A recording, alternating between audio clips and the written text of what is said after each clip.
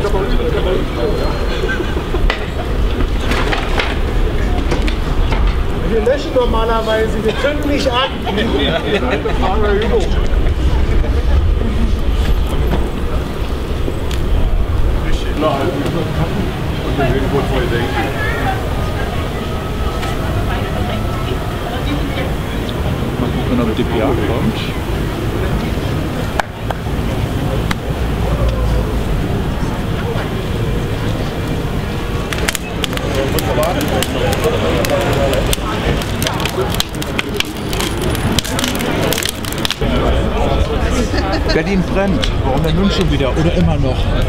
Immer noch. Äh, Die Tonne wurde im Jahr 2018 gelöscht. 2018 bis heute sind viereinhalb Jahre vergangen. Viereinhalb Jahre, in denen nichts besser geworden ist. Viereinhalb Jahre, in denen die Einsatzzahlen weiter gestiegen sind, die Belastung für die Kollegen weiter nach oben gegangen ist und damit letztendlich ja auch die Sicherheit äh, der Bevölkerung in einem Maße gefährdet ist, dass jetzt ein Punkt erreicht ist, wo offensichtlich die Warnung notwendig wird. Ja, eine Warnung dahingehend, dass es kein Selbstzweck ist, was hier stattfindet. Es geht um die Sicherheit der Bevölkerung. Wir haben teilweise Situationen, wie man ja auch der Presse jetzt entnehmen konnte, wo über 17 Stunden am Tag Ausnahmezustand ist. Also der Ausnahmezustand ist der Regelfall. Der Ausnahmezustand geht dann so weit, dass teilweise gar kein RTW zur Verfügung ist, in ganz Berlin. Man muss sich das deutlich machen, was es bedeutet. Wenn man in Heiligensee umkriegt, umknippt mit einem Herzinfarkt, dann kommt der nächste RTW kommt auf die Liste und der nächste RTW, der kommt, kommt dann aus Köpenick. Hat dann aber eine Anfahrtzeit von dreiviertel Stunde. Dreiviertel Stunde. Und äh, das ist offensichtlich nicht in dem Maße verstanden worden, wie es notwendig ist. Und deswegen sind die Kollegen heute hier. Deswegen setzen die Kollegen ein Signal, weil die Kollegen ja natürlich ähm, wahrnehmen, dass es nicht in dem Maße angegangen wird, wie es hätte angehen werden sollen. Das ist eine gute Frage. Warum lässt die Politik uns im Stich? Also ich glaube eigentlich oder glaubte immer, die Politik, Politik wird einfach, lässt sich falsch beraten. Ja, also es gibt natürlich immer Leute, die sehen da die Ursachen oder da die Ursachen. Und ich glaube einfach, die lassen sich falsch beraten. Fakt ist jedenfalls, dass da nicht in dem Maße Gelder locker gemacht wurden, dass man es geschafft hat, für Neueinstellungen in einem ausreichenden Maße zu sorgen. Ja, es fehlt einfach massiv an Personal. Wir haben heute immer noch eine Antretestärke wie ungefähr 1997, haben aber über doppelt so viele Einsätze.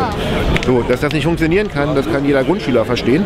Ähm, und warum das bei der Politik nicht so umgesetzt oder so angegangen wird, wie wir uns das wünschen würden, weiß ich nicht. Wir haben es versucht, wir sind auch dabei und wir strecken weiterhin die Hand aus und wollen gerne mit der Politik äh, auch in die Gespräche kommen. Wir hatten auch schon äh, kleine Ansätze, die aber noch nicht in dem Maße äh, gefruchtet haben, wie wir uns das wünschen würden und wie es vor allen Dingen notwendig ist. Wir müssen wirklich die Ursachen endlich mal wirklich an der Wurzel packen.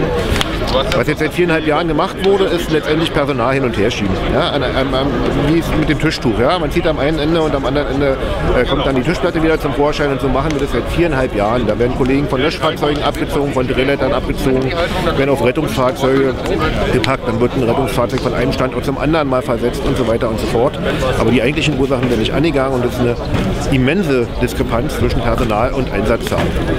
Und da müssen wir ran. Das heißt, wir brauchen mehr Personal und wir brauchen weniger Einsätze, in dem Fall sprich Fehleinsätze. Ja, da könnten wir einiges tun. Das will man nicht, versteht man nicht, ich weiß es nicht. Wenn jetzt nichts passiert, wie viele Tonnen wollen Sie denn noch anzünden hier? Das ist eine gute Frage. Wir gehen davon aus, dass es nur eine Warnung braucht. Warum sollte es mehr Warnungen brauchen? Wie, wie groß soll denn das Signal sein?